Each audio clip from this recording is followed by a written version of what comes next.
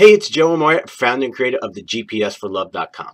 And today I want to talk about something I see happening all the time with the members of our GPS for Love community. And so if you're at that point in your love, like where you're having a hard time creating those results you want, you're having a hard time meeting good guys, or you're having a hard time letting go of the past, whatever it may be for you, I want you to pay close attention because what I think you may unknowingly be doing is that you're focusing on the problem instead of the solution. You know, it's something I see all the time, especially when I start working with my mentoring clients right in the beginning. Joe, you don't understand. It's so difficult. You don't understand. It's so hard. Joe, you don't understand. Is I having a hard time trusting. Now, I'm not saying that all these things aren't true because, again, your perception is your reality. So if you focus on how you've been screwed over, how you've been hurt, and again, not to minimize those things, I'm not saying that that's not real for you, that emotionally you're not feeling and you're not experiencing those things. But if you keep focusing on the problem, you're never going to go forward. You know, one of my favorite expressions is you can't get to second base with your foot still on first. See, in order to move on, you've got to be able to let go of the past. Now, here's where the inherent challenge is. Some of you say, but I don't know how to do that. And that's fine. Or I can't do that. Or there's no good guys out. Whatever it is, you've got a story that you've been running and that's what you keep focusing on. You keep focusing on the problem.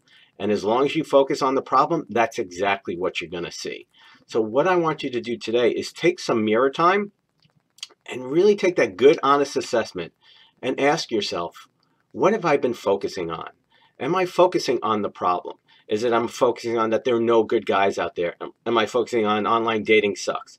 Am I focusing on that older guys just want younger women? Whatever it is for you. Because remember, at the end of the day, you only need one. Now, there was a time in my journey where I felt the same way, where I was dejected, I was disgusted, I had hated dating, and, you know, it just, it, I was done with it. But what I really realized is that I was focusing on the problem. I was focusing on everything that was wrong. And once I started focusing on the solutions and I started putting my mental energy towards that and I started taking action from that place, it's amazing how things just magically turned around. And I see it all the time with my clients. Is we take them out of this mindset is that I can't do this or it's too difficult or it's too hard. And we get them to open up to the possibilities of seeing things different. Because once you open up to the possibility and you focus on that, you're going to start moving and taking action in that direction. And you're going to start getting little results. And once you start getting results, you create something called momentum. And that's where the magic happened. That's when things just magically kick in. And all of a sudden, your reality changes. You start seeing that, you know what, there are great guys out there.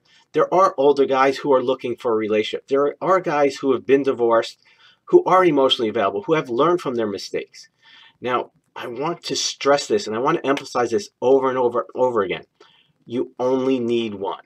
Now, I know some of you are watching this going, yeah, but I don't know how to do that. Well, what I'm going to ask you is a simple question. Is that you don't know how to do it or you're afraid to do it? Because if you learn how to do that, that opens you up to the chance of being hurt again. And here's the thing, 96 to 98% of what you think, say, or do happens from your unconscious level. So there's a part of you that's driving the bus and you don't even know about it. So the way you recognize that, and that's why mirror time is so important, you simply start observing. What do you think what do you what do you focus on? What do you talk about all the time? And if you start noticing that, you'll get a real indication of what's going on underneath the surface.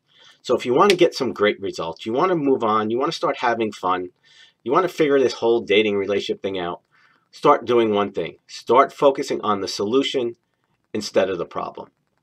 As always, it's honor and privilege. I'd love to hear from you. I want to know what's come up. What are the questions? What are the concern?